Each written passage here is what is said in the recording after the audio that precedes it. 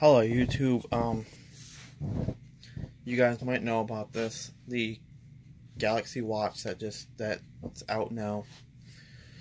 Um I kind of want to give my thoughts on that watch. Now uh that watch seems to be an okay watch, but I heard from people on the Eyes Free list, which is a Google list that I'm subscribed to, that it's the same accessibility as screen reader pretty much even though even though it's voice assistant now. And uh, it's just, it has like the same sound feedback and the same everything as our phones. So it's pretty much the same version. And uh, yeah and also yeah pretty much and pretty much here's the bad part. You still have to have sighted assistance to turn on voice assistant on the on the Galaxy Watch. Like you can't do no shortcut. Now to me that's uh, now to me that's devastating because who wouldn't like to be able to turn on accessibility other cells on the Galaxy Watch? Like who like who would not want to do that? I think I think they really should have added more accessibility to Tizen 4.0. But did they? No. Pretty much the same stuff. So I'm so I imagine that it's probably gonna lag pretty badly, but I don't know. It's voice assistant, so I don't know.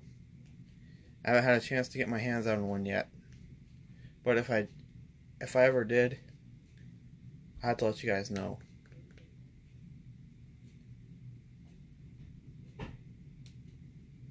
Because like I said, um, you might know my friend from YouTube, Justin Ruland. He has a he has a uh, Gear S3, a Samsung a Samsung Gear S3, and I've heard that thing. That thing is very very slow and laggy.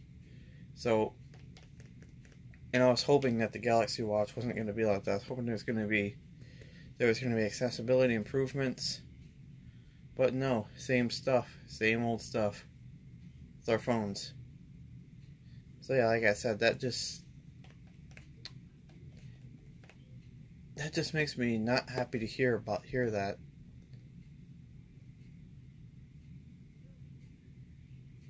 That Samsung is taking their accessibility this way. Now, the voice assistant is accessible, whatever, but uh, it's not like but there's not a lot of cool features with it and stuff. So you'd think they would improve more accessibility on the later versions. But according to Tizen 4.0, nothing's improved, it's the same version. And yeah, that like I said, that just uh that kind of ruins me because I mean not ruins me, but it ruins the Galaxy Watch because what if you look? What if you were alone? Now, okay, yeah. Let me say this. Sorry, guys, I'm just fidgeting with my iPhone 6. I probably shouldn't do that, but uh, what if you were alone and you didn't have a house? I mean, and, and you had a house, but what if you were living alone in your own house? Who would be there to turn on voice assistant for you? No one. No one. So you'd be so you'd be stuck with a Galaxy Watch with no voice assistant. So that's what would suck. And as far as third party apps would go, I don't know for sure. But we'll have to wait and see about those. Like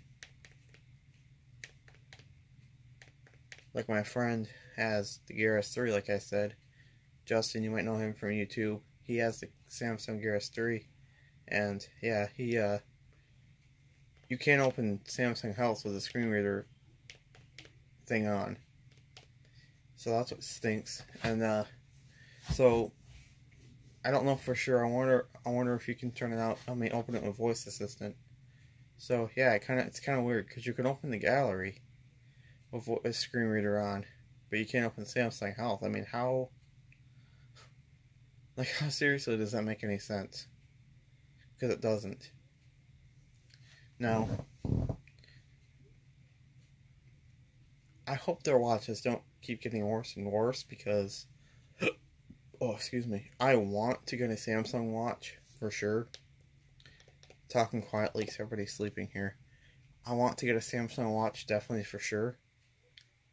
But, but if Samsung is going to keep this, uh, but if Samsung is going to keep this accessibility crap up, I'm not getting one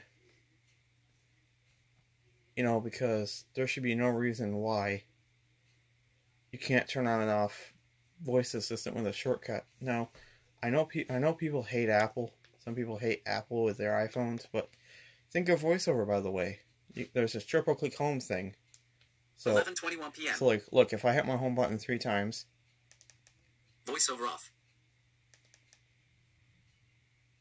VoiceOver on. 11:22 p.m. See what, curtain on. All right, see what I mean? Now, now, now let's get out of the Apple category and go back to the Android category. So, yeah, like, like what, like, on Android phones, like on the older ones, you just hold down two fingers after holding the power button down. That's all I had to do. But now I have my direct access set to so when you press um, when you press the power and volume up buttons, it will it will turn on voice assistant.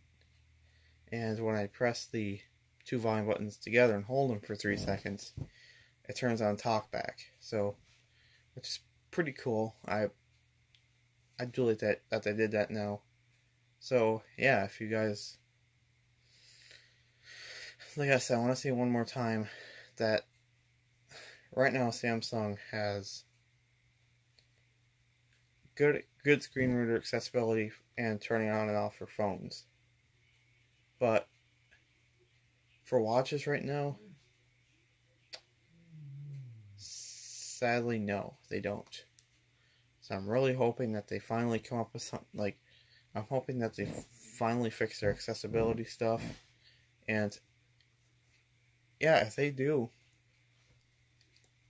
if they do that, if they do, then yeah, I definitely get a smartwatch, a Samsung smartwatch, and yeah, Google. Uh, I mean, jumping again to another to another company. Um, Google Wear products. Those, I mean, Samsung has been making watches for a while.